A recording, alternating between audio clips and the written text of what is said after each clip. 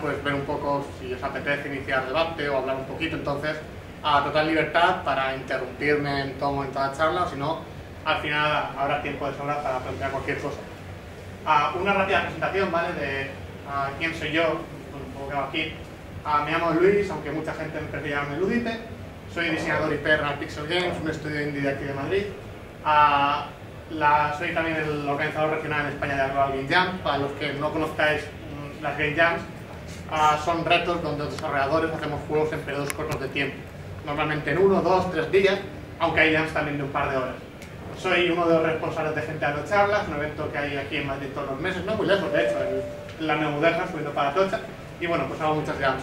Siempre pongo un poco de mis trabajos, algunos guías para que los veáis de ejemplo y demás. Uh, en Pixel Games estamos trabajando ahora mismo en A Place for the Winning, un juego que consiguió su campaña Kickstarter, que ha sido en todos los medios internacionales, que hemos estado nominados a premios en la Game Connection en París, en el SX, en la Casual Connect, en el Big Festival. con suerte saldrá en algún momento del futuro, sin decir fecha. Y bueno, pues si queréis buscarlo a, a Free William. Y siempre pongo pues juegos que he hecho últimamente, ¿vale? Pues hace unas semanas, con hecho hace una semana, hice este juego para Lunder, una ya muy famosa, donde la gente, tienes un restaurante y la gente te pide palabras y es como, a los clientes quieren una U y una P, pero es alérgico a las M's, no sé entonces tienes que escribir una palabra que encaje con los requisitos del cliente, que lógicamente se van completando, se van complicando, perdón, y aparte pues tenemos un limitado de tiempo y demás. Y hace un par de semanas, este mismo mes, sido un mes un poco atareado, hice un juego que se llama Hashtag Art, que es un juego de 2 a 18 jugadores en el mismo ordenador, donde con tan solo un botón, hasta 18 jugadores dibujan un cuadro abstracto en 30 segundos en base a un tema, y conforme van dibujando, a las obras que hagas se van enmarcando, se va otorgando una galería de arte virtual, donde se le asigna un nombre, se enmarca y aparte pues hay seis espectadores y demás. Vale, ahora sí, vale, eh, la charla es lo más importante que le ha pasado jamás a los videojuegos. Es decir, voy a hablar de lo que creo que es ah, lo más relevante si englobamos todo lo que ha pasado dentro de este mundillo desde su concepción. Eh, el título son un poco clickbait, sí, soy, no sé, los títulos me suenan así, un poco clickbait, pero de verdad me los creo, de verdad eh, estoy convencido, personalmente creo que de lo que voy a hablar en esta charla es lo más importante y lo más relevante que ha pasado. Vale, eh, toca revisar un poco los videojuegos, tanto a la cultura la comunidad como la industria y cómo empieza. Es importante entender que los videojuegos no hacen en un laboratorio, en el sentido de que no es que estuviesen como haciendo pruebas de que es un videojuego, sino de que los primeros se hacen con material como osciloscopios, es decir, el Tetris, el Pong, se hace en maquinaria de laboratorios de gente que tenía acceso a estas máquinas y cacharreando pues se les ocurre hacer esto. Claro, como pasa con todo, pues hay algún momento ¿no? en el que alguien estaba trasteando un poco el osciloscopio, ah, pues mira qué divertido el juego con alguien, a otro mando, tal, y hay personas que empiezan a ver negocio, ¿no? Oye, es normal, no es comprensible, pasa con todo. Atari suele ser, bueno, de las primeras grandes compañías que conocemos en el sector, y lo que pasa un poco con Atari, ¿vale? Es que, claro, tú tienes una compañía que empieza a hacer esto de los videojuegos, no sé si ya has utilizado el término vamos a tienes los juegos y necesitas gente que los haga. ¿dónde vas a buscarlos? Pues no sé, si el que lo ha hecho hasta ahora lo ha hecho con un osciloscopio, pues seguramente irá a buscar ingenieros, a gente que esté en laboratorios, en universidades, pues un poco todo esto que había, ¿no? Esta cultura de este momento está empezando, está, la, informática está cogiendo carrerilla y hay muchísima gente totalmente fascinada con los ordenadores. Entonces, bueno, pues al final empiezas a buscar este tipo de trabajadores. Vale, empieza un poco lo que es la fiesta de, que se ha mantenido bastante, que es, um, no sé si Aquí hay dos imágenes, una de un titular de un medio, no sé si de Engage o dónde. Uh, no sé si habéis visto ese titular o si sabéis a qué hace referencia. Uh, Nolan, no me acuerdo ningún apellido, es el fundador de Atari. Busner, gracias. Y se le iba a dar el premio honorífico a su carrera en la GC este año. Uh, se hizo una petición para que no se le diese, dado todas las cosas tóxicas que haya salido y todos los escándalos. Eh, al final se retiró el premio y él mismo dijo que, que lo veía bien, ¿no? Que, que, no se lo hubiese dado, dado que en el pasado había hecho cosas que, que a día de hoy, por desgracia, siguen manteniéndose en la industria. Y luego he puesto aquí esto de los cereales de Captain Crunch. No sé si sabéis un poco el crunch, lo que es en videojuegos. El... Exacto. No es, no es un concepto exclusivo de los videojuegos, pero es echar muchas horas, ¿de acuerdo? ¿Qué es lo que pasa con los videojuegos? Eh, los videojuegos son cosas muy difíciles de producir pero muy complicado. hay cosas como, digamos, la programación o el arte que tienen todavía más trayectoria, de ahí más o menos muchas veces puedes decir, pues no sé, si el programador me dice que va a tardar tres meses en hacer esto, vamos a decir que tres meses más uno, tres meses más dos, que luego fallarán cosas, porque luego lo que pasa es que en videojuegos nos juntamos gente de tantas disciplinas que estamos cada uno trabajando por nuestro lado y todo va perfecto, es decir, está el programador programando por su lado, el modelador, el diseñador, todo perfecto, y el día que hay que juntarlo todo, nada funciona y todo se rompe, y todo el mundo odia a todo el mundo. Entonces, normalmente, claro, con los videojuegos, que es donde se invierte mucho dinero, donde hay mucho retorno y tal, ¿qué pasa cuando el mundo se te viene abajo y tu juego tiene que salir en un mes? Pues que lo pagan los trabajadores. ¿Vale? Es una práctica muy destructiva. Pues si os tienes que poner a trabajar 90 horas, los pones a trabajar. Es algo que empezó en esta época que a día de hoy sigue estando bastante, bastante extendido. ¿vale? Sobra decir que estas horas no se pagan. ¿vale? Y además, a, dentro de los videojuegos se ha metido como dentro de la cultura, ¿no? Como mola ir a un estudio y no sé, salir a las 10 de la noche todos los días. Bueno, pues a tu vida en general no, no molará tanto. Ah, al final no es que los videojuegos sean como especiales en esto, ¿de acuerdo?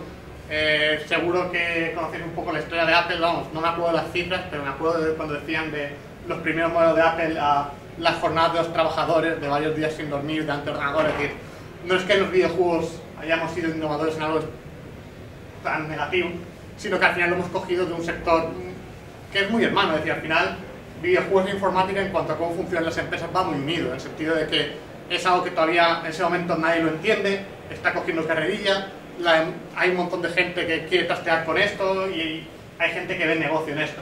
Entonces se vende un poco como, mira, si tú quieres con ordenadores, si tú quieres hacer videojuegos, tú pasas por mis condiciones. Pequeña pausa, ¿vale? Eh, simplemente que nadie se haga una idea errónea de la charla o de mi persona. Eh, no es que venga aquí a deciros los videojuegos y la industria es horrible, etc. Eh, yo jugando a videojuegos desde que tengo uso de razón, trabajo haciendo videojuegos, me gusta mucho. Ahora, mm, eso no quita que en muchos sentidos los videojuegos, sobre todo en la industria, haya cosas horribles que hay que intentar mejorar. Entonces, bueno, quiero, me gustan muchísimo los videojuegos ahora mismo y creo que la industria y lo que hagamos puede llegar a mejorar mucho y para eso tenemos que mirar un poco nuestros errores, para que nadie piense que esto es una charla de echar mirada sobre los videojuegos cuando uh, llevo jugando esto toda la vida y me dedico a ello.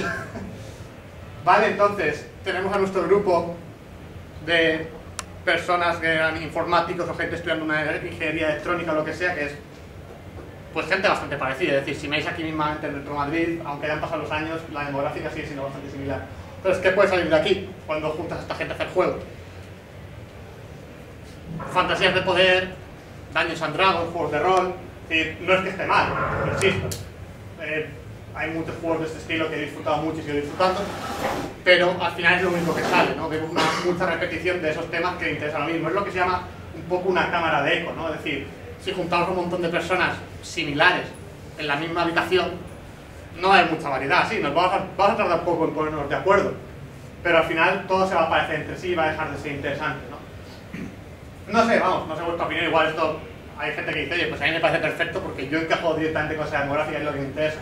Yo siempre me gusta compararlo mucho con otros medios, ¿no? De pues, películas, con libros, pues igual tengo mis géneros o tengo mis estilos predilectos, pero me gusta que haya variedad, me gusta poder ver hoy una comedia y mañana verme un dramón y pasar mañana un documental y con libros salto del realismo mágico a ficción histórica, a ensayo. Creo que esa variedad demuestra que es un medio sano. Y eso en videojuegos ahora se empieza se empieza a esclarecer un poco, pero había una época que era todo muy, muy idéntico, se notaba que era una cámara de eco, de gente que eran prácticamente... no había mucha discusión, era bastante parecido. Llega Nintendo, ¿no? Un mega hito. Solo con la, ya con la NES, ¿no? Ya nos trae cosas como Mario, como Zelda. ¿A quién le debemos...? Todos conocemos a una persona de Nintendo, ¿no? A que debemos un poco, digamos, la autoría, aunque los juegos los hacen equipos muy grandes y contribuye mucha gente todos tenemos en mente a, Miyamoto, ¿verdad? Cuando, cuando hablamos de Nintendo. Es decir, no sé hasta qué punto estáis familiarizados un poco con la intervención de Miyamoto, pero por ejemplo, él es responsable de todo el game design del primer Mario, que siempre, decía, a día de hoy, cuando alguien estudia diseño, se sigue enseñando el primer nivel del Super Mario como esto debería ser tu Biblia. Eh, Zelda, que supone un, un cambio bastante de los videojuegos, ¿no? que a, también sale él, no sé hasta qué punto está involucrado en el diseño, pero toda la dirección creativa y toda la estructura del proyecto la, crea él. Em, ¿Alguien sabe decirme algo de Miyamoto antes de hacer videojuegos? ¿Nadie? Miyamoto quería hacer cómics, quería ser artista, eh, no quería hacer nada, es, los videojuegos eran lo último que se le pasaba por la cabeza. ¿De dónde viene el diseño tan genial de Super Mario? ¿Vale? En aquel momento, cuando estamos hablando de la primera época de los videojuegos, eh, no hay realmente una noción de game design. Es decir, eso que ahora entendemos como una disciplina igual a la programación y al arte, que se puede entrenar, aprender y desarrollar, en aquel momento pues era un poco, bueno, pues como caigan las cosas. ¿Por qué el primer Super Mario pasa de ser, no tengo muy claro lo que es el game design, la biblia del, desarrollo, del diseño? Básicamente porque Miyamoto viene del diseño industrial. ¿De acuerdo? Entonces, el diseño de videojuegos y el diseño industrial guardan muchísimas similitudes. Hay, de hecho, a muchos, a día de hoy, muchos diseñadores de videojuegos siguen utilizando libros para instruirse que no son de videojuegos. Hay uno muy famoso que se llama El diseño de los objetos cotidianos o el Design of Everyday Objects, que te empieza a te, hace cuestionar los diseños de cuando entras en un ascensor, cómo están puestos los botones, por qué las tijeras, no sé si se fijado una en las tijeras, son una cosa muy chula de diseño. Es muy complicado agarrar la, las, unas tijeras de una forma incorrecta, ¿vale? ¿Por qué tienen como esos dos lados donde metemos los dedos y cómo están colocados? Para obligarnos a que pongamos los dedos de la posición correcta. Entonces, Miyamoto se trae todo esto, ¿vale? Del diseño, y por eso pega de golpe un salto en, en esa dirección. Zelda Zelda es de sur, no es de Dungeons and Dragons, no, es de cuando él de pequeño iba a correr, iba a explorar por el bosque, etc. Lo que estoy diciendo es que una persona que no es que fuese uh, diametralmente opuesta a la gente que estaba haciendo videojuegos en aquel momento, pero sí que era diferente, sí que aportaba cosas nuevas. Y fijaos que llegó y, y lo que hizo aquí, como si fuese fácil. Lo que quiero decir un poco con esto es que las cámaras de eco son, con, um, son negativas parece, parecen fácil, ¿no? Decir, mira, pues junto con un grupo de amigos que pensamos igual y así van a salir mejor el juego. Pero es que si todos pensamos igual y no nos cuestionamos nada, es mucho más fácil que haya alguien que sea diferente y que pueda mirarnos desde lejos y decir, mira, creo que estoy equivocando con esto. Y Miyamoto fue capaz de cambiar tantas cosas en parte porque no se parecía na en nada a la gente que estaba haciendo videojuegos en aquel momento. Vale, con Nintendo y demás es cuando esto ya se nos empieza a ir de las manos de forma desmesurada, ¿vale? Es cuando los videojuegos ya empiezan a coger ya habían cogido, ¿no? pero siguen cogiendo tracción hasta que se convierten en, en la moda que son hoy en día, ¿no? que hay una frase que sirve mucho para, para conseguir titulares en prensa generalista, aunque yo la odio, que es lo de los videojuegos hacen más dinero que el cine y la música juntos. Es verdad, es verdad. Digo que la odio simplemente porque eh, al final es un poco a los medios serios, ¿vale? Más bien generalistas, nunca se, han, nunca se han preocupado por los videojuegos. Entonces, ¿Cuál ha sido la primera baza que se ha utilizado desde el sector de los videojuegos para que se preocupen por ello? Pues cuestión de los que están haciendo marketing en aquel momento, en vez de abogar por son cultura o son lo que sea, pues vamos a tirar de cartera, ¿no? Yo te digo que los videojuegos son relevantes porque hacemos mucho más dinero que esto. Entonces, bueno, eh, aquí es cuando empieza a escalar de forma muy, muy desmesurada. Las empresas siguen creciendo, ¿de acuerdo? Eh, todas estas prácticas que hayamos visto de crunch, de equipos tóxicos y demás, van en escala, como es normal. Y aunque no es el tema de esta charla, solo quería resaltar que el tema del marketing y videojuegos eh, da para da para ir, ¿vale? Es muy interesante ver cómo el marketing de los videojuegos ha ido un poco condicionando todo hoy en día. Bueno, aquí tenemos un par de ejemplos, ¿no? De el John Romero se disculpó, por cierto, se disculpó por este anuncio hace poco. El John Romero es about to make you kiss beats. Ah, luego tenemos el de Nintendo, ¿no? Y, eh, ya me acuerdo de, de que era el último, era de no sea de Master System o algo del estilo. Y bueno, pues el tema del marketing a veces lo dejamos un poco de lado, pero la verdad es que es bastante, bastante importante. Seguro que todos habéis visto las tendencias que ha seguido la industria últimamente, ¿no? De los juegos tienen que ser eh, cada vez más potentes a nivel visual. Los juegos tienen que ser eh, más grandes, ¿no? Ahora medimos los juegos por cuántos kilómetros cuadrados tiene el mapa virtual o cuántas horas nos lleva a jugarlo. ¿De dónde viene esto? Realmente del marketing. Me refiero, alguien en, cuando empezamos con la carrera del 3D, hasta ahí todos estábamos bien, es decir, cada uno hacía un poco, veíamos mucha variedad de estilos artísticos en los productos más comerciales y iba bien. De golpe hay gente de marketing que dijo, mira, pues podemos tirar la baza de que es más realista. Entonces nos vamos, a, nos vamos a inventar una mentira, que es, si es más realista es mejor. Y lo que pasa con las mentiras es que, bueno, no es verdad, pero si lo repetimos mucho, al final se convierte en verdad, entre comillas. Entonces, durante muchísimos años, se ha perpetuado desde el interés del marketing el que el videojuego más realista es mejor. Eso es simplemente una baza. Por eso al final parece, es muy fácil decir, a mí no me afecta el marketing, o yo estoy por encima de eso, pero sí que cuando tenemos un bombardeo muy masivo de información y mensajes durante tantos años, al final nos acaba calando. Luego, por ejemplo, cuando de golpe, no sé, ya nos costaba un poco seguir haciendo más potente visualmente, como, bueno, ahora que nos inventamos para, para vender más, ¿no? Y entonces en marketing empezamos con lo de, no, mira, ah, es que tienes más contenido, es que este juego dura 200 horas, que parece que estemos comprando los juegos al peso, como en la frutería. De, no, vale 60 euros, pero es que te estás llevando 200 horas. Entonces la hora te sale más barata. Es lo que pasa al final. Todo esto porque viene un poco. Eh, los videojuegos, con toda esta escalada que hemos visto, se han vuelto desmesuradamente caros. Eh, es que estamos en el punto de que un videojuego que cueste unos 150 millones no es ninguna locura. Entonces, con esta escala de que se ha ido aumentando el presupuesto, nuestro público es el que es, ha ido creciendo, pero la gente que compra videojuegos está más o menos acotado. Pues ¿qué se ha hecho? Ver cómo se puede sacar más rentabilidad a, este, a esta comunidad. Que por cierto, no sé si, no sé si esto salió mucho de los desarrolladores, pero el año pasado, por ejemplo, se hablaba del apocalipsis de los AAA games, de los juegos comerciales grandes. Porque claro, no sé si fue con el Tomb Raider o con algún juego comercial muy gordo que salió y vendió como 3-4 millones y fue un fracaso comercial. No sé si era Tomb Raider o otro, pero algo del estilo. Ya, bueno. ¿Mm? Eso es al final la hipocresía del mercado, que pérdida, es que no me he llevado 100 millones, me he llevado 80, he perdido dinero. Al final son las noticias como las presentan. Claro, pero te ha costado 150 millones. Ya, bueno, me he dado las cifras sin pensar en el, en el gasto.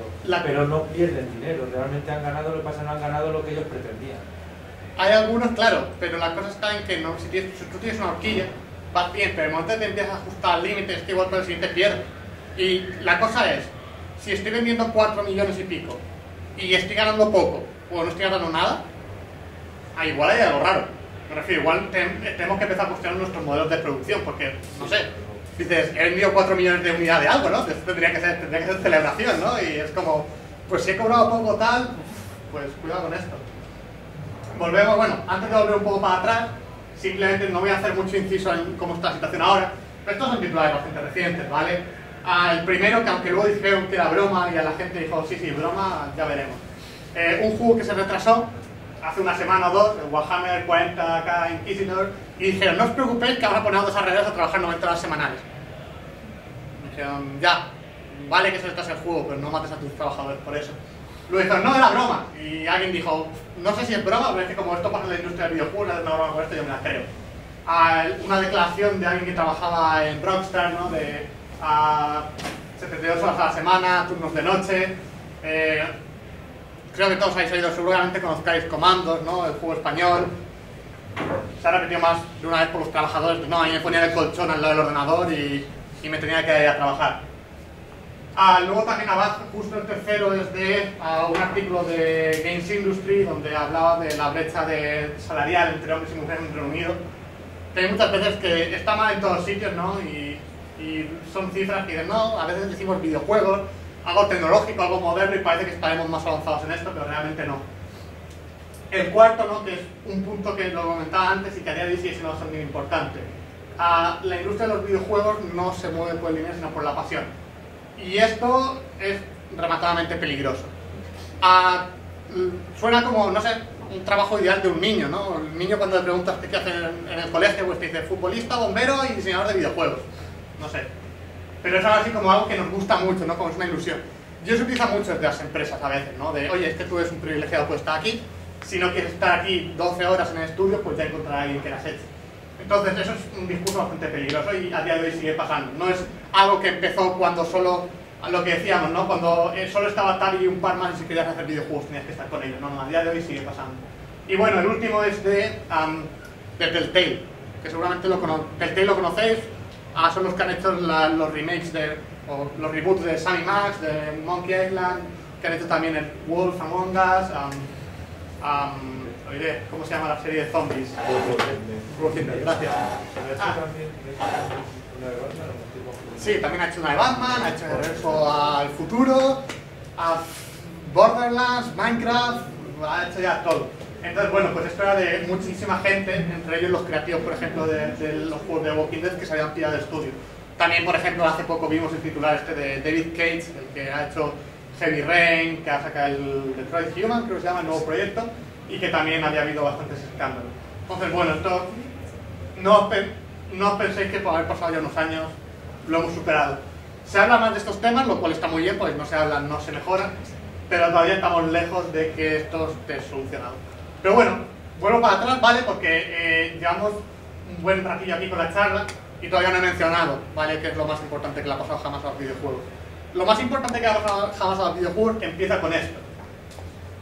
Kaze Muchin del 81. ¿Alguien sabe por qué está esto aquí?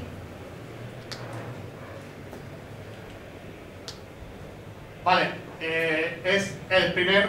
Hay un poco de discusión de debate al respecto, pero si este no fue el primer juego de historia que tiene hitos de niveles, le queda muy cercano, ¿de acuerdo? Es decir, es un juego que nos deja modificar el contenido, crear nuestros propios niveles y guardarlos para jugarlos con otras personas, para traer a nuestros amigos de mira lo que he hecho, no es, te permite coger cualquier cosa del juego y mejorarlo, cambiarlo, empeorarlo, hacerlo tuyo.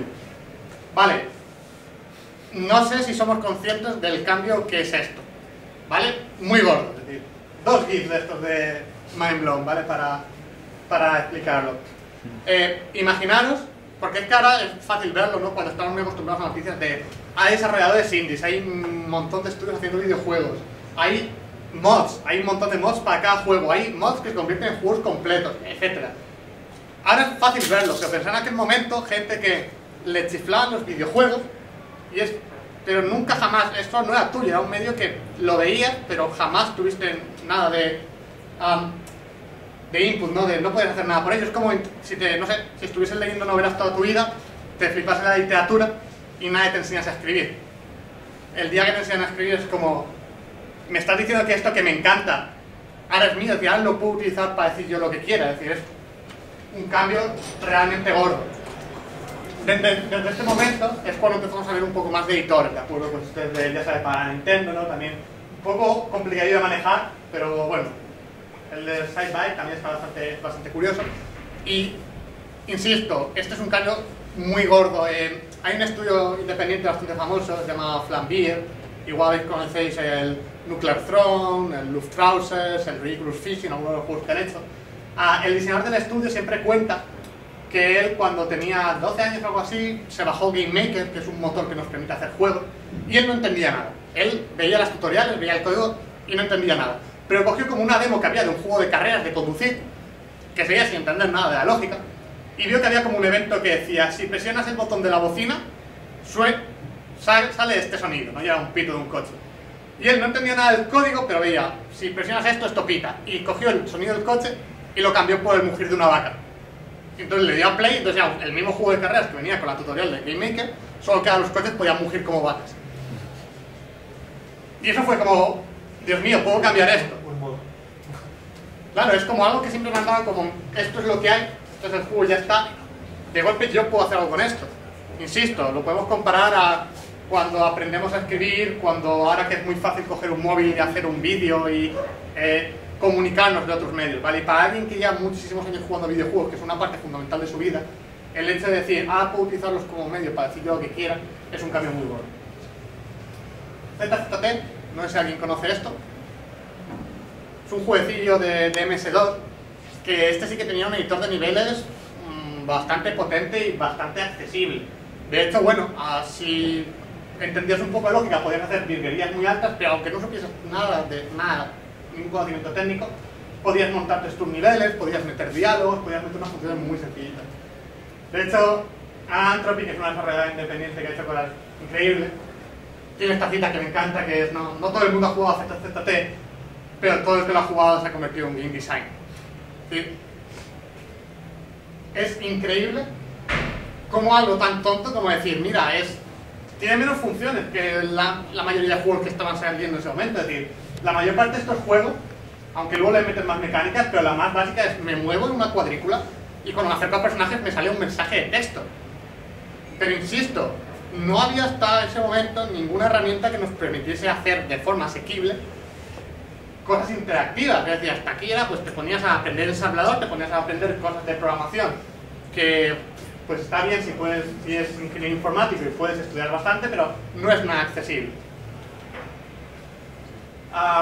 no sé si a alguno le suena esto de DIP, es muy curioso porque a, a nivel de desarrollo, ¿vale? En la industria siempre, siempre comentamos los desarrolladores que es muy curioso que en España tenemos algo que se suele llamar la época del oro del software español, ¿no? Que esto es algo que se repite toda la sociedad y es muy discutible, uh, de que, bueno, el momento de comandos y otros juegos ha sido lo más importante de la industria española. No estoy de acuerdo, pero bueno, una cosa que siempre me ha hecho gracia es que jamás cuando hablamos de esa época hablamos de Div, que Div podríamos decir que es casi un game maker básico, es uno de los primeros programas, ya no juegos con un editor de niveles, no, no, programas pensados para que la gente haga juegos de forma muy asequible y con poco a poco. Y aquí, lógicamente, está poniendo un código con bastantes líneas que parece que está haciendo algo muy complejo, pero podríamos hacer que una pelota se moviese en pantalla con una línea o con dos que podemos copiar y pegar. Es muy curioso como a día de hoy yo, muchas veces cuando hablas con gente que hace videojuegos en España, que justo le pilló en esta época, lo recuerdan así, dices, que para, gracias a mí, gracias a ti, yo a día de hoy estoy haciendo videojuegos. Era una forma muy fácil de iniciarse, ¿vale? Y insisto, ahora lo vemos todo con una perspectiva diferente, pero realmente esto era cosas que cambiaron por completo todo. De hecho, es muy curioso como hace poco, hace un año así, vi en un taller, un taller que había diseño de niveles, a una persona que iba con su portátil, con una máquina virtual con Windows 98, con Div instalado, para hacer su juego en Div. Hay gente que todavía tiene mucho cariño y es que fue un avance increíble hecho aquí en España y muchas veces creo que lo reconocemos poco. Un poco, ¿vale? Saltando más a, la actualidad, eh, GameMaker lo menciono todo el rato, GameMaker es un programa bastante asequible que de hecho muchas funciones no tenemos ni que insertar ninguna línea de código, podemos arrastrar y ya está. Ah, lo utilizan muchos desarrolladores indies y mucha gente que en realidad no es programadora. Ah, tenemos Scratch, Scratch es un programa fantástico hecho por el MIT que está disponible de forma gratuita y está pensado para los niños programas. Ah, yo, he hecho, yo he hecho juegos con mis primos de 6 años, donde ellos hacían toda la programación con Scratch, es decir, es bastante asequible. Eh, Scratch es gratuito, GameMaker como puedes utilizar con finalidad comercial, pues puede costar algo. Eh, estos os estoy poniendo dos ejemplos, pero hay 10.000, en plan de si eres un poco más técnico, si eres totalmente artista y no sabes nada de programación, si te gusta más escribir y tal, si tal, hay muchísimos programas que han ido haciendo más accesible hacer juegos. A mí hay uno que me gusta muchísimo, porque básicamente es como el ZZT que mencionábamos antes, pero moderno, se llama Bitsy. Y Bitsy, eh, aquí estáis viendo toda la interfaz, que es básicamente como esto es el mapa donde dibujo la pantalla, aquí pinto los sprites, ah, los, los objetos, aquí tengo los colores y poquito más. Y Bitsy es gratuito, no tenemos ni que descargar, se ejecuta desde el navegador.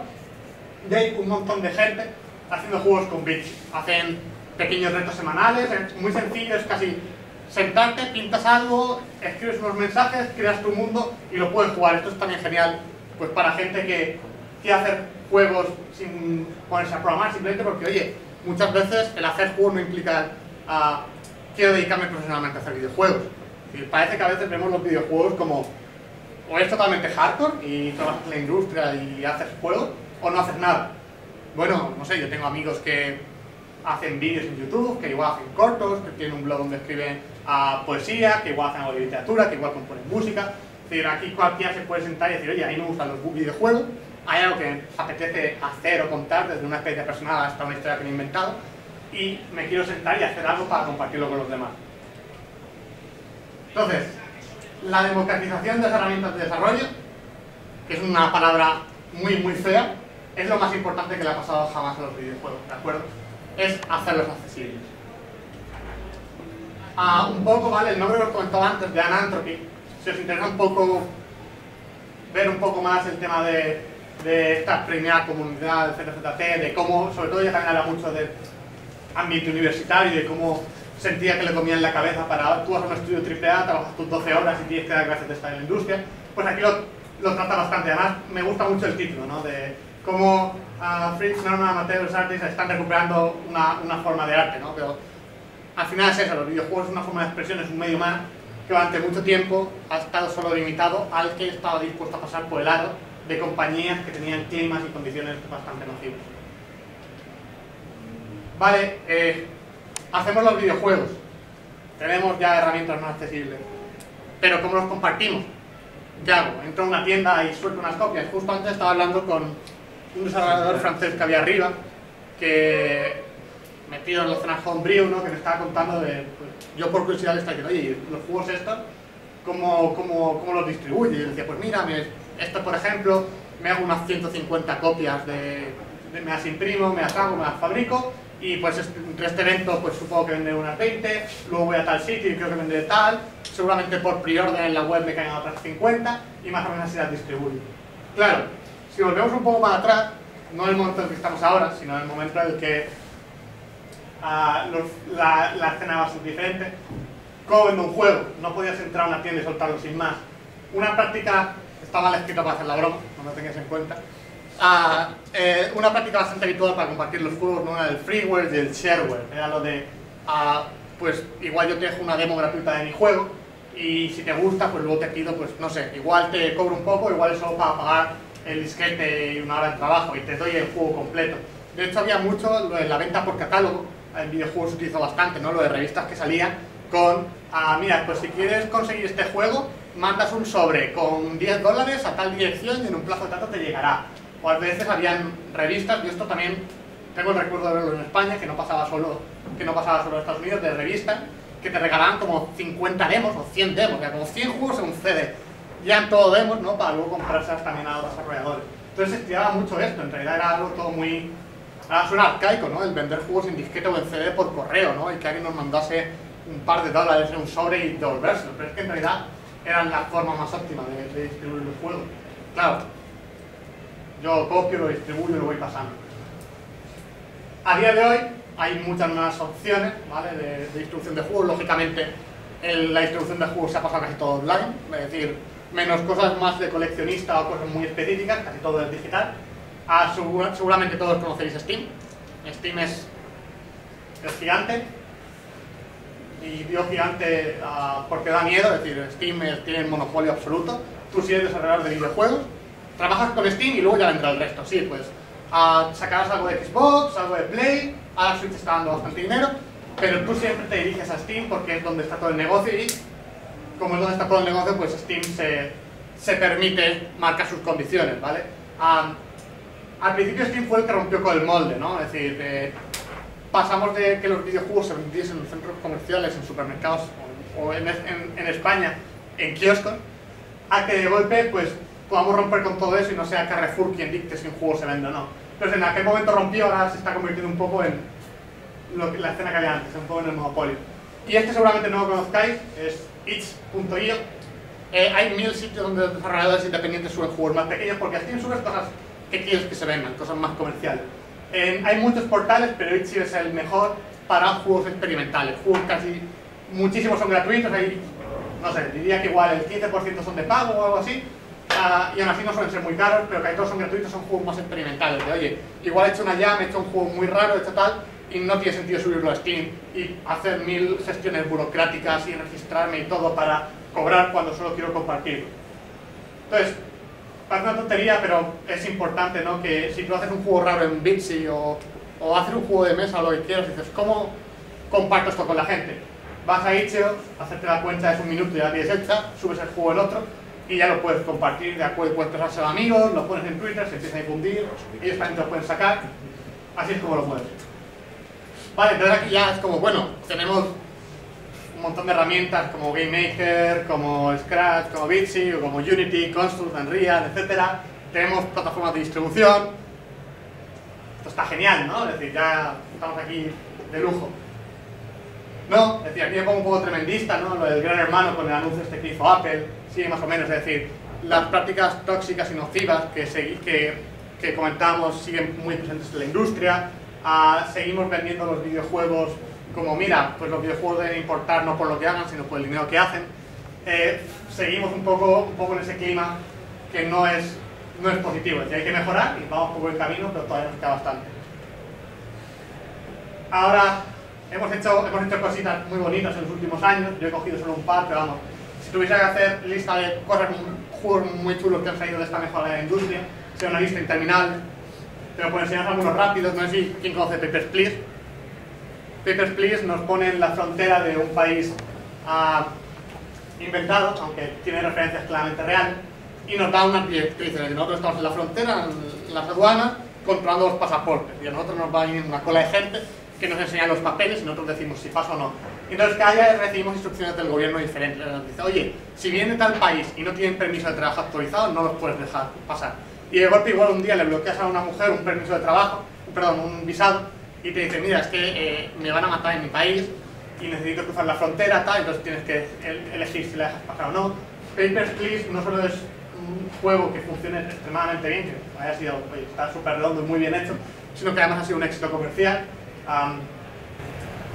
Sí. Podría decir un detalle muy importante del juego que a mí me llamó la atención, que las buenas, las buenas acciones no te las recompensan, todo lo contrario, te penalizan. El juego tiene una segunda capa, no lo he mencionado, pero en función de nuestra productividad se nos paga y al final de cada día tenemos que decidir cómo invertimos el dinero. Entonces, igual, si no tenemos dinero para pagar la calefacción, al día siguiente tu hijo se ha puesto enfermo y queda bastante enfermo. Entonces, ya no solo que no te recompensan las buenas acciones, sino que eh, igual las buenas acciones acaban perjudicándote a ti y a tus seres queridos de forma bastante, bastante directa. Entonces, el juego también fue un éxito a nivel comercial que, oye, siempre es bueno ver que encima de cuando se hacen cosas chulas, pues se pueden recompensar. De hecho, no puedo decir lo que decía, pero Lucas Pope, su creador, recogiendo un premio hace un par de años, decía, gracias a Papers, Please, yo no me tengo que preocupar como desarrollador independiente si mi familia va a poder comer o no durante 15, 20 años. Entonces, no siempre pasa, son casos cada vez más raros, pero siempre está bien que pase. Dragon Cancer, no sé si este lo conoce alguien, está un documental sobre su creación. Ah, es un matrimonio que su tercer hijo nace con cáncer, saben que, que va a morir, y deciden hacer un juego sobre, sobre la experiencia. Es la forma de decir, cuando decimos que los, queremos que los juegos sean adultos, pues no lo probemos con violencia, demostremos que en juegos podemos tratar temas que tratamos en un artículo de un periódico, en un documental o en una película. Aunque esos temas no, nos, no, sea, no encajen con la idea típica que tenemos de juego de divertido. ¿no? Lo, lo, que siempre decimos, los juegos no, son, no tienen que ser divertidos, los juegos tienen que entretenernos igual que una película nos entretiene. Yo no espero que todas las películas sean graciosas, no espero que todas sean de acción, cada una tiene unos sentimientos u otros. Tenemos a desarrolladoras tan atrevidas como Nina Freeman, que hizo Cibele, entre otros muchos juegos. No sé si conocéis algunos Gone Home, indie muy famoso, vale, pues Nina Freeman es diseñadora en ese estudio y aparte en su, fuera del estudio hace cosas bastante atrevidas, le gusta tocar muchos temas de sexualidad, de identidad de género y demás, y tiene cosas muy interesantes que si una distribución abierta, si todo tuviese que pasar por un país o por un supermercado además, esto no sería posible. Entré el otro día a la página de Alum, de una jam, y cogí el primer juego aleatorio que vi, de los 3.000 que se hicieron el fin de semana pasado, y lo he metido. ¿Vale? Me parece importante que cualquiera pueda hacer su juego, es lo que estaba recalcando todo el rato. Es me parece genial que Lucas Pope pueda tratar temas de política, me parece genial que Nina Freeman pueda tocar temas tan tenidos como sexualidad, y me parece genial que cualquiera pueda hacer un juego de lo que quiera a día de hoy. Es lo que me parece lo más importante de todo. No ya que trata de temas más profundos, no, sino tener la libertad de que los juegos hagan vuelto de ser de todos. Sigue un poco presente lo que decíamos antes de marketing, de conductas nocivas y demás, pero estamos haciendo el medio un poco nuestro otra vez, para lo que es, lo que es importante, que la situación va a un poco cada día. Por eso, aunque ha habido muchas cosas, insisto, he disfrutado mucho con jugadores y han sido relevantes a nivel cultural, desde Super Mario hasta compañías como Atari, a consolas como PlayStation hasta, hasta la Wii, ¿no? que la Wii parece una tontería, pero el Wii Sports ha sido un hecho muy importante en este videojuego. Lo que ha abierto eso es como con el Brain Training. Yo jamás he visto jugar a videojuegos en mi familia tanto como cuando salió el Brain Training. Que de golpe soy de una familia que nadie juega a videojuegos y había como 4 o 5 de con la gente haciendo con... No os acordáis de los anuncios de Amparo Baró se llama la actriz que hacía de... de Siete Vidas, sí, de... Pues, a pesar de todos esos hitos que ha habido, para mí lo más importante, más que un Super Mario, más que un Zelda, más que el Wii Sport, más que lo que sea, es que a día de hoy, cualquiera, niños, adultos, lo que sea, pueda sentarse a un tornado y decir, voy a hacer un juego como a mí me dé la gana, que puede tocar los temas que a mí me dé la gana, que va a ser como yo quiera, y lo voy a publicar y la gente lo puede ver. Que luego se moverá más o menos, o tendrá más éxito o menos, si la gente encaja más con él, me da igual, lo puedo hacer y lo puedo compartir. Que es algo que es un privilegio muy gordo, un privilegio, un derecho mejor dicho, que es fácil olvidar que hasta hace poco no lo tenían. Y bien, creo que nos ha quedado muy largo, sido unos media horilla o así, pero eso, eso es un poco lo que os quería comentar. No quería daros mucho a chat. Así que no sé si ahora nos vamos, queréis hacer preguntas, queréis comentar algo. Tiempo hay.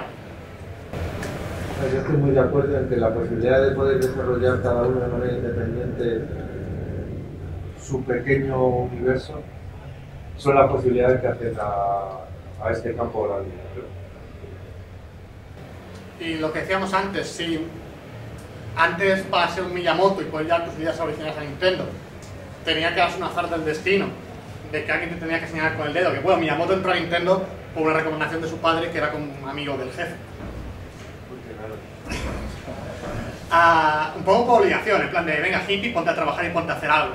No quiero hacer videojuegos, pero bueno, pues ahora ya no tienes que darse esa casualidad, ahora cualquiera puede ir y expresarse mediante los videojuegos. Genial. No sé si alguno habéis toquiteado alguna vez algún motor de videojuegos o si trabajáis como desarrolladores indies o, no indies. Lo silencioso. Bueno, nosotros tres estamos en un curso estudiando desarrollo de videojuegos. ¿En qué, ¿En qué universidad? Eh, no, es un ciclo superior. Estamos con Unity y programamos en y bueno, pues eso, dibujo, arte, diseño, programación, marcándolo todo en el curso. Vamos, no sé, yo os animo a los que nunca habéis hecho videojuegos a que, por ejemplo, busquéis lo de Bitsy. Vale, por cierto, ahí tenéis lo de Twitter por si luego os acordáis de... Ha dicho lo de Bitsy ha en internet, o ¿cómo dijo que se llamaba el libro aquel de esa mujer que decía que los juegos, pues me podéis mandar un mensaje por Twitter y os lo recuerdo. Ah, os animo básicamente a que probéis esta noche o mañana lo de Bitsy, es decir, igual no os atrae para nada, ¿no? Pero sí que es verdad que a la gente que hemos crecido con videojuegos, ah, se nos antoja como natural, ¿no? Como expresarnos mediante ellos. Yo, por ejemplo, siempre he consumido muchos videojuegos y muchos libros. Entonces, pues, de pequeño a mí me gustaba escribir. Yo de pequeño no consideraba que hacer videojuegos fuese una opción. Luego descubrí eso y vi que me gustó más. Entonces, muchas veces los medios que nos interesan y que nos tocan a nivel personal son con los que nos gusta expresarnos. Entonces, os recomiendo, bueno, recomiendo, os animo a que abráis Bipsy, le hagáis un juego cortito, es decir, dedicarle un par de horas máximo, sobre, pues, desde un momento personal hasta últimas vacaciones, hasta una historia que os hayáis inventado. Eh, el libro de Anna Anthropy tiene un capítulo que me encanta, que son como cuatro o cinco páginas, solo de ideas, de, dice, ¿y de qué puedes hacer un juego? No, no es una pregunta trivial. Y saca como cuatro o cinco páginas de, de, tu, de, de tu mascota, de, una, de tirar una piedra en un lago, de tu primer beso, de dejar a tu familia para ir a la universidad, de quedarte desempleado y a, sin poder pagar el alquiler, de tal. Entonces, cualquier cosa personal, compartirla o hacerla vuestra y canalizarlo mediante los videojuegos. Y bueno, si hacéis lo de Bitsy y no os ha gustado, se os ha una hora o dos. Pero igual descubrís que os ayuda y que os gusta bastante el tema de comunicaros y hacer cosas personales mediante los videojuegos. Y lo que digo, no tiene por qué conduciros a que vuestra profesión sea eso puede ser simplemente un hobby que, que acabéis disfrutando un montón. Ah, que yo solo quería decir que la verdad es que nunca se me había ocurrido mirarlo desde, esa perspectiva de que realmente cuando realmente se empieza a aprovechar todo el potencial que tiene lo que es un videojuego y, las posibilidades que te da, realmente cuando se empieza a aprovechar eso es cuando quitas esa limitación de, de, que sea muy, de muy difícil acceso, de que tengas que saber programar muchísimo y, que, y trabajar en, estas empresas muy, muy, como, muy tóxicas y muy todo. Y que en cuanto a cualquier mm, persona que tenga una idea, que, que es muy fácil, ¿no? Pues por ejemplo en el Game Maker incluso hay una opción de de ponerse a arrastrar cositas que ni siquiera tienes que escribir código, creo, o algo así. Y... Se está haciendo todo cada vez, más accesible. Por ejemplo, yo tengo un poco de conocimiento de lógica, ¿vale? Pero yo soy diseñador, yo no, no programo y cualquier programador decente me, no, me trae una bronca si ve lo que hago.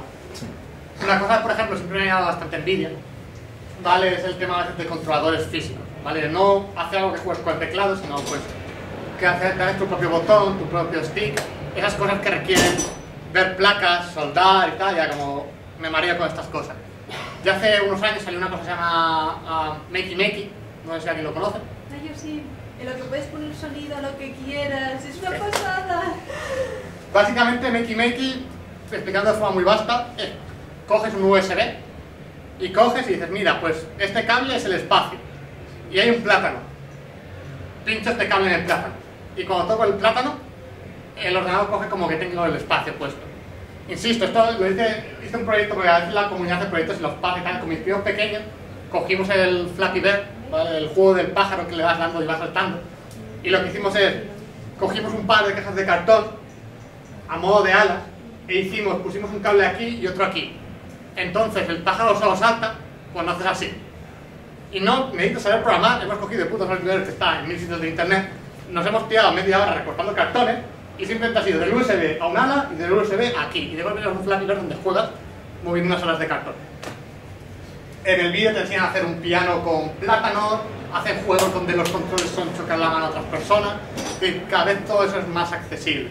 Y ahora, por ejemplo, con el, con el Nintendo Labo que están sacando, que es como que cada vez se van explorando más opciones de, lo- de lo, de lo que da y, y salir un poco de, de lo digital también y, y ser creativo con esas cosas que, que joder, hace 30 años, si, si tú le contabas a alguien que iban a sacar una cosa que con gomitas y cartón ibas a hacer un robot o algo así, pues flipabas. Es que con gomitas y cartón yo jugaba de pequeño.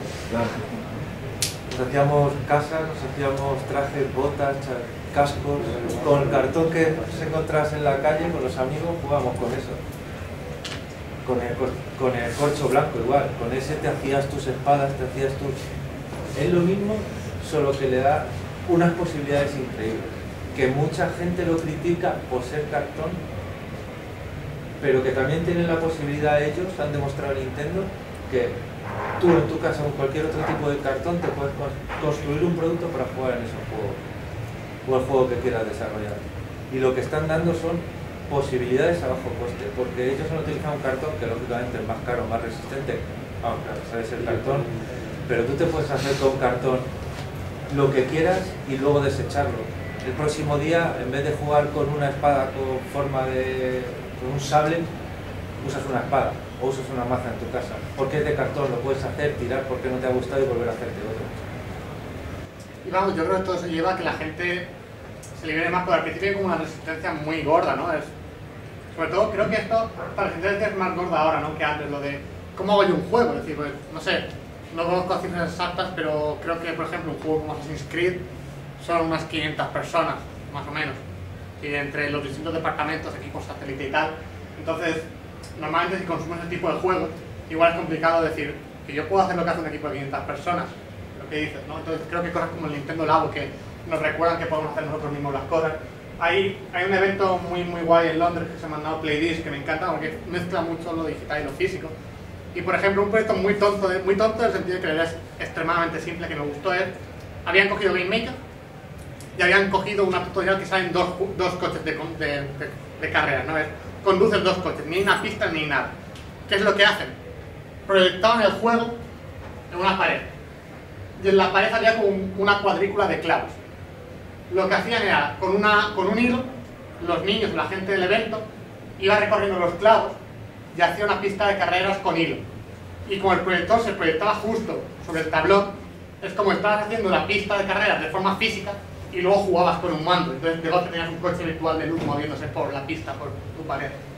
No sé, es- creo que hay muchas posibilidades y muchas veces no es, no es tan complicado hacer proyectos chulos, hay bastantes recursos. Tenéis ordenadores como Raspberry Pi que las podéis coger por 10 euros también y hacer cosillas y cosas de estilo. Entonces lo que os decía, si queréis que os indique más programas y más cosillas, porque es muy complicado a veces dar una recomendación general. A mí me gusta mucho hablar de Bitsy porque es súper abierto, tú te sientas, no descargas nada, es web, lo utiliza un montón de gente, pero ahí es lo que decía, hay muchísimos programas. Dependiendo, pues, no sé si alguno habéis oído hablar de Twine. Twine ah, lo utiliza mucho, por ejemplo, la gente que le gusta más la narrativa, pero que no tiene conocimientos técnicos. Entonces nos permite hacer aventuras, conversaciones y publicarlas de una forma hiper sencilla. De esto de que eh, escritores que no han visto una línea de código en su vida, en 20 minutos máximo de reloj, los tener ya haciendo cosas que se pueden jugar. Entonces por eso digo que no quería soltar una retaila de programas, porque en realidad dependiendo del trasfondo de cada uno, de cuáles sean sus fortalezas, de lo que quiera hacer, pues hay una opción mejor. Y una pregunta, ¿en las cada uno va con el material que quiere o tenéis allí un material o usáis unos programas determinados o cómo lo planteáis? ¿O lo planteáis como una competición? Buena pregunta. Am, vale, eh, primero lo de las jams, ¿vale? Por establecer algunas cosas de base que igual no son naturales. Normalmente cuando hablas de jams, la gente tiende a pensar en que la gente se junta de forma física a hacer juego.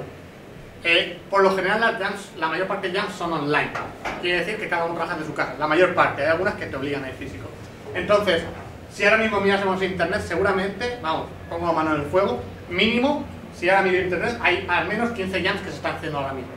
Las jams están muy bien, pues te ponen metas. ¿Vale? Dicen, mañana tienes que terminar algo. Igual es horrible, pero mañana tienes terminado. Entonces, hay una cantidad de- variedad en cuanto a normas, en cuanto a lo que se hace, tremenda. Lo que sí que es común es que normalmente, vamos, las jams no deben ser una competición.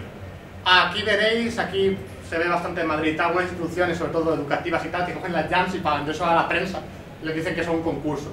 Las jams nacen de la experimentación, de estar tranquilo, de recordar por qué mola hacer juegos, de hacer algo, de tener una idea con un par de amigos y que eso en unas horas se esté moviendo, que lo juguemos y que nos guste.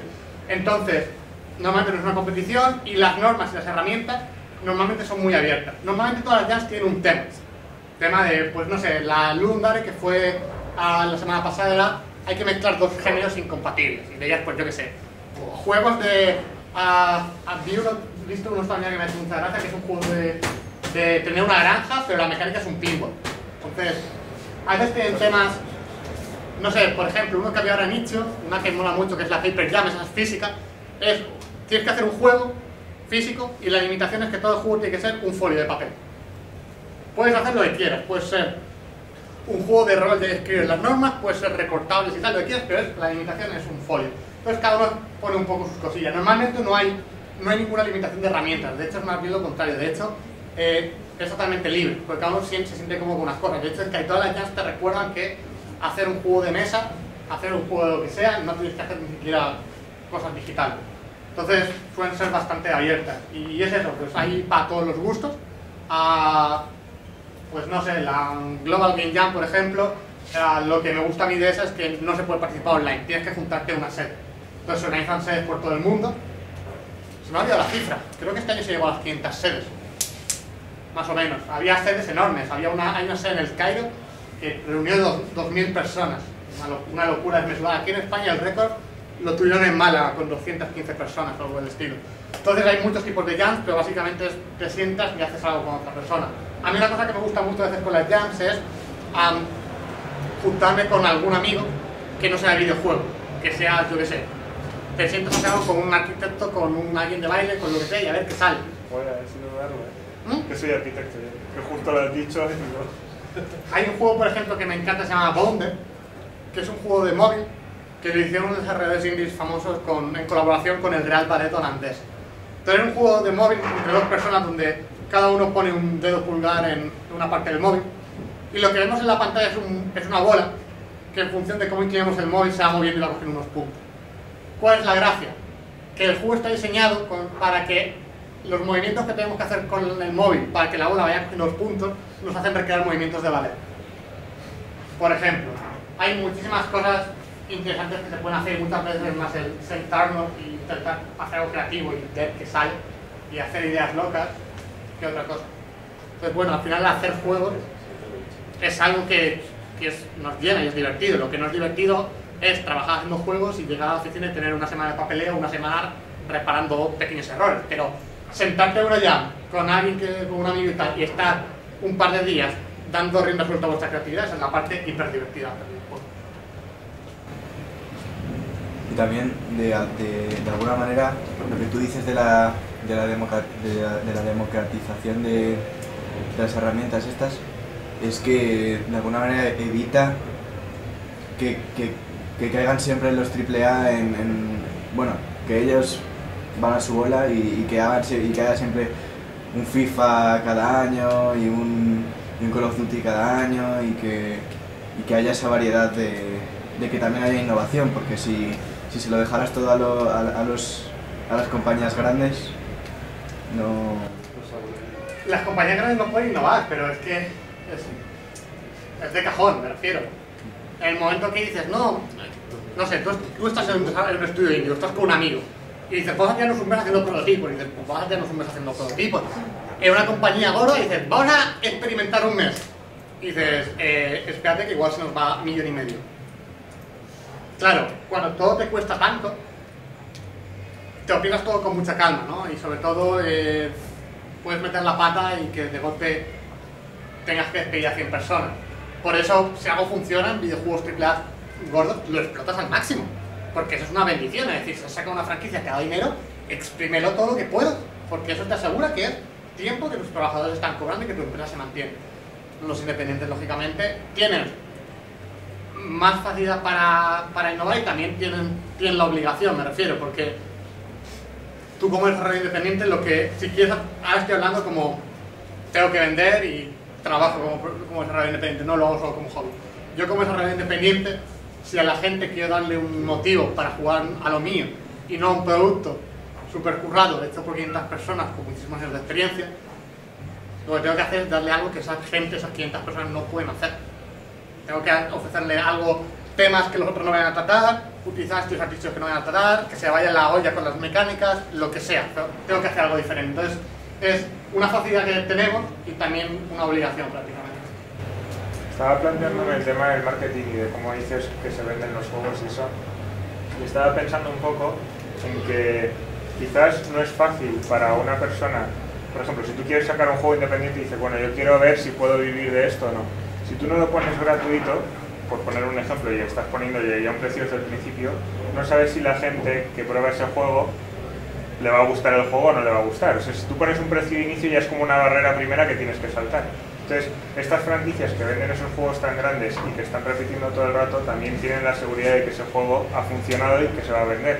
Pero si tú eres un desarrollador independiente que estás haciendo juegos diferentes e innovadores cada vez, sí que tienes, o sea, hasta qué punto, digo simplemente es una reflexión en alto, ¿eh? no llevo a ninguna conclusión, pero hasta qué punto piensas si puedes, por ejemplo, vivir o no vivir de ello, si cada vez estás haciendo un juego que no sabes si va a funcionar, no va a funcionar, si es más innovador, o sea, hasta qué punto arriesgas y, y cómo podría ser esa barrera de pasar del hobby al negocio. Vale, mm, ¿por qué empiezo hablando del primer punto en el AAA de por qué se repite el juego? O por qué vemos sagas, ¿no? Porque ahora hay un nuevo Tomb Raider, etcétera, etcétera. Dos razones principales. La primera es, ah, ya hemos tenido algo que funciona, no que funcione a nivel comercial, ojo, que funciona a nivel de diseño, que es divertido. Ah, hace poco el lead producer de Naughty Dog, a los que hacen los Uncharted, estos juegos gigantes, decía, claro, dice lo que decíamos, ¿no? De programación, el programador dice que va a tardar tres meses, yo digo que va a tardar cinco. El problema son los diseñadores, pues claro. El diseñador me dice, no, voy a tardar tres meses en hacer esta mecánica, va a ser divertida. Pero es que el diseño es hiper volátil. Han pasado tres meses, igual la mecánica es horrible y no hay quien se lo pase bien con esto. Entonces, ¿qué es lo que pasa? Que si ya tenemos un set de mecánicas que funcionan bien entre ellas y demás, lo que decíamos, en AAA no puedes experimentar, es que te mata. Entonces, pues si ya tenemos algo que ha funcionado y tal, pues lo llevamos. Y luego porque la segunda baza que nos dan es a nivel de la IP, ¿no? Lo que llamamos, pues, el personaje de la Croft o Super Mario, tal, lo que vende, que sea él, sin más, ¿no? Eso, se, eso pasa, es decir, eso es un recurso cuando es esta gente tan grande, con tantos recursos que va a un público tan grande. En juegos independientes lo que está comprobado es que por lo general hacer secuelas o hacer sagas es cagado. Es No, sí, pero lo decía en cuanto a la dificultad de enfrentarse con el negocio desde un punto de vista independiente, ¿sabes? O sea, no lo digo en cuanto a sacar precuelas o secuelas, que eso no era lo importante, me refiero en cuanto a sacar juegos que la gente disfrute y que juegue y tal. eh, si tú cada vez te enfrentas al reto de la, de la novedad o de la innovación, nunca sabes hasta qué punto, o sea, entiendo que puedes tener como ideas de, vale, esto me funciona en este, lo puedo aplicar en este de otra manera, tal, sí que hay ciertas conexiones, ¿no? Pero realmente cada vez te enfrentas con, con la, ¿cómo se dice? Con el no saber, ¿no? Con, el, con, con la inseguridad.